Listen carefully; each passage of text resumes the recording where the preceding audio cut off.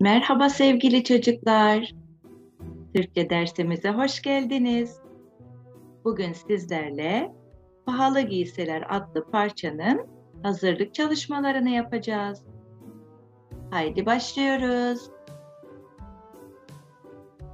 Kitabımızda sayfa 58'de araştıralım ve hazırlanalım bölümleri var. Önce araştıralım bölümüne bakalım. İnsanların mevsimlere göre giydikleri giysiler değişmektedir. Yazın giyilenler ile kışın giyilen giysilerin adlarını araştırıp sınıfta söyleyelim. Yaz mevsiminde hava çok sıcak olur ve tişört, şort, elbise gibi yazlık ince giysiler giyeriz. Kış mevsiminde ise hava soğuk ve yağmurlu olur. Kazak, mont, atkı, bere, çizme gibi bizi ısıtan kışlık kalın giysiler giyeriz.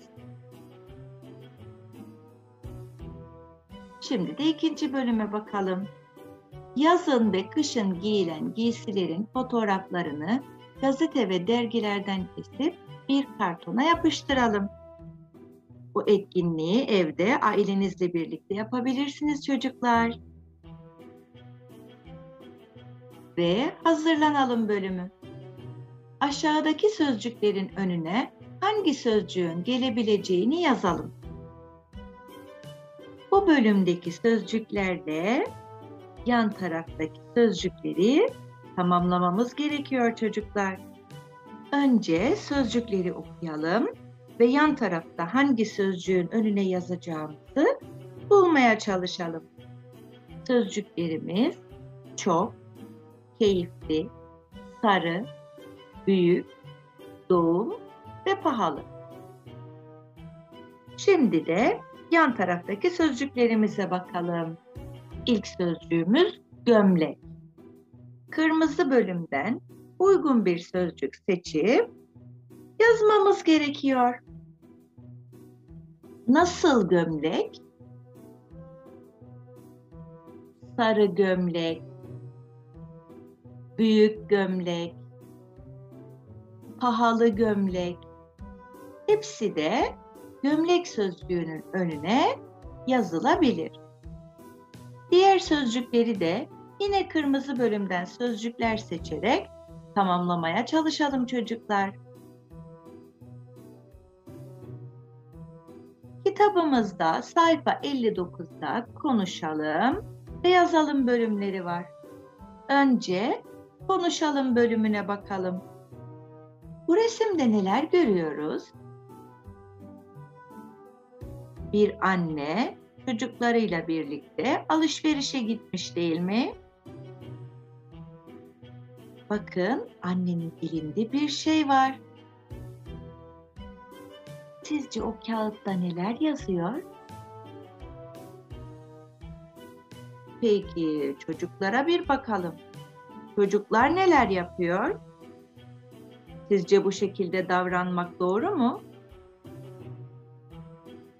Bu resmi dikkatli bir şekilde inceleyelim çocuklar ve resimdeki yanlış davranışları bulmaya çalışalım.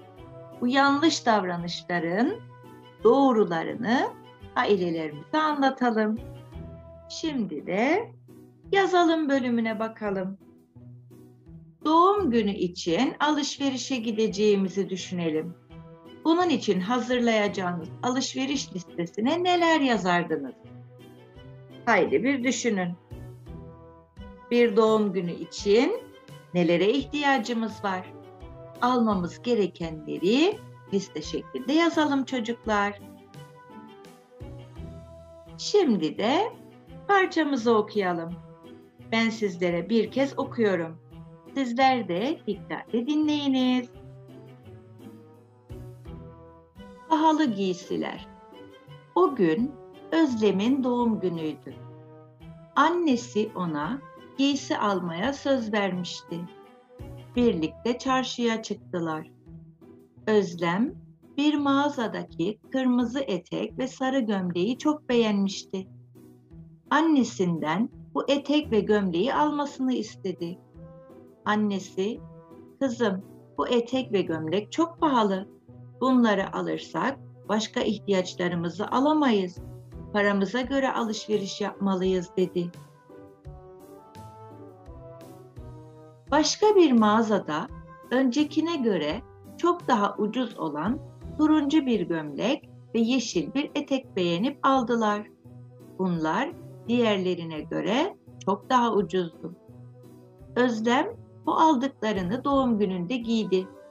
Arkadaşları giysilerini çok beğendi. Özlem'in annesi de çok mutlu olmuştu. Hem paralarına göre alışveriş yapmışlar hem de aldıkları giysiler Özlem'e çok yakışmıştı. Evet çocuklar, hazırlık çalışmalarımızı yaptık. Parçamızı da bir kez sizlere okudum. Bir sonraki derste parçamızla ilgili etkinlikleri yapacağız. Bu nedenle siz de bir sonraki derse kadar parçayı okuyup hazırlanınız. Hoşçakalın.